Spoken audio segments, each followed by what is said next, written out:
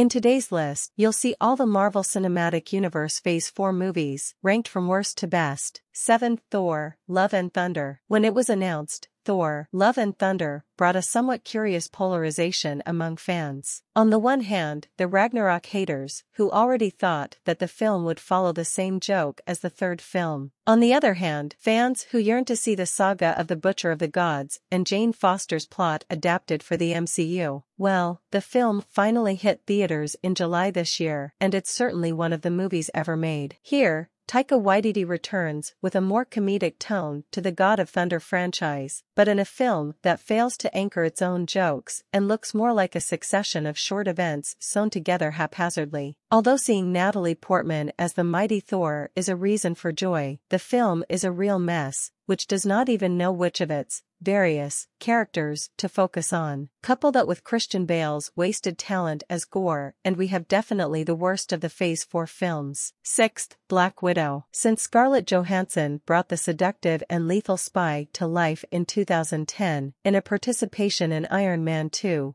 Fans have clamored for a long heroine solo, but they have always been rejected by Marvel Studios, which at the time had a great disdain for their female characters. Ten years have passed and Black Widow has finally hit theaters, remember? Directed by Cate Shortland, the film has a very strong start and bets on the atmosphere of a spy thriller that perfectly matches Natasha Romanoff's entire journey. However, towards the end it becomes the classic spectacle with dodgy visual effects and lame MCU villains, and that's when it completely loses its temper. It's all very nice to see Scarlett Johansson dedicate herself one last time to the role, just as the addition of Yelena Belova becomes a huge highlight in Phase 4, but there's a long way to go before Black Widow is considered a genuinely good movie especially after everything we've seen. With the Infinity Saga, it would have been acceptable if it was released in Phase 1. 5. Spider-Man, Never Go Home. Now that we've gone through the phase of collective delirium caused by the scarcity of releases during the pandemic and the weak start of Phase 4, we can admit without fear, Spider-Man, no Return Home even has its intriguing moments, but it's a film that relies on nostalgia to disguise its real problems. On top of all of this is John Watts' direction, which remains listless and lifeless, as with his previous films. However, it goes a little further than that, since the first hour of the film is tedious and only serves to delay what fans really wanted to see, which is the meeting of Tobey Maguire, Andrew Garfield and Tom Holland in theaters. Even though it brings back remarkable villains like Dr. Octopus, Electro, and the Green Goblin, the film does not stand up very well on its own, since it depends all the time on a degree of public attachment to the previous sagas of Buddy Neighborhood. At the very least, it provides a satisfying conclusion to the first Spider-Man trilogy in the MCU. 4 Degrees, Shang-Chi, and the Legend of the Ten Rings. In many ways, Phase 4 has become a period of experimentation and new firsts for the Marvel Cinematic Universe. With a good part of the Avengers retired or dead, new heroes could have their own highlight, and Shang-Chi and the Legend of the Ten Rings proves to be a very interesting work in this regard. Even though the ending strictly follows the MCU formula and becomes just another generic festival of action scenes with unfinished CGI, the feature sustains itself in a very audacious way by being inspired by martial arts films and wuxia classics, such as House of Flying Daggers and Crouching Tiger, Hidden Dragon. In addition, the inclusion of Simu Liu and Awkwafina brings more lightness to the franchise, in addition to finally having a strong adaptation of the Mandarin,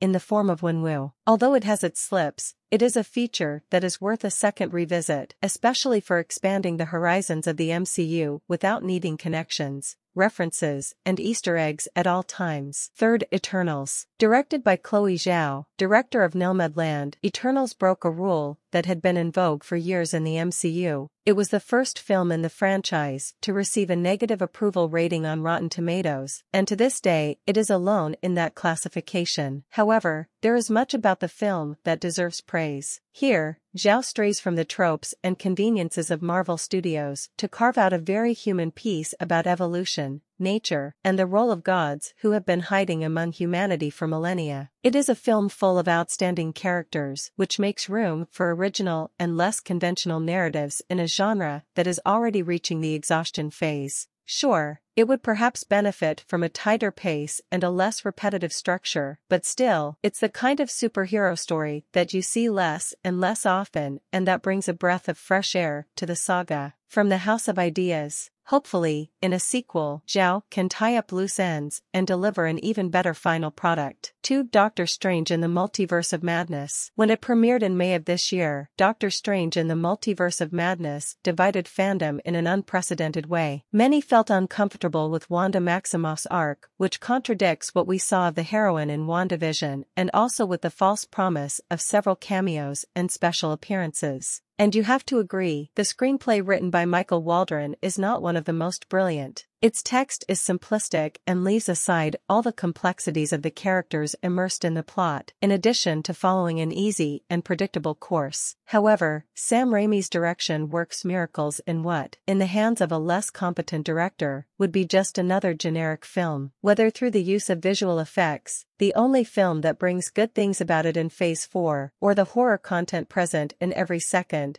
we have here one of the most daring and spectacular works of the MCU, which manages to give a new direction for Stephen Strange and still play with the concept of the multiverse even if in a very restrained and bureaucratic way. 1. Black Panther, Wakanda Forever After. If we analyze it coldly, the truth is that all Phase 4 films have glaring problems, whether in the narrative structure, in the look or even in their fitting with the rest of the MCU. The recently released Black Panther, Wakanda Forever After is no exception to the rule, but it's surprising to see the degree of commitment and dedication from the crew and cast. Although it's almost three hours way on the final product, Ryan Coogler's film exceeds expectations by touching on themes such as grief and anger, in addition to offering a new geopolitical conflict full of nuances. Much of this is in the weight cast, with emphasis on Tenoch Huerta, Angela Bassett and even Letitia Wright, who surprises in her interpretation of Shuri. The beautiful tribute to the legacy of Chadwick Boseman does not go unnoticed and it is precisely when the film explores the impact left by T'Challa that we have some of the best moments in a superhero film of the year. And although its narrative is messy and its resolution is not very satisfying, it is a very touching outcome for this transitional phase of the MCU.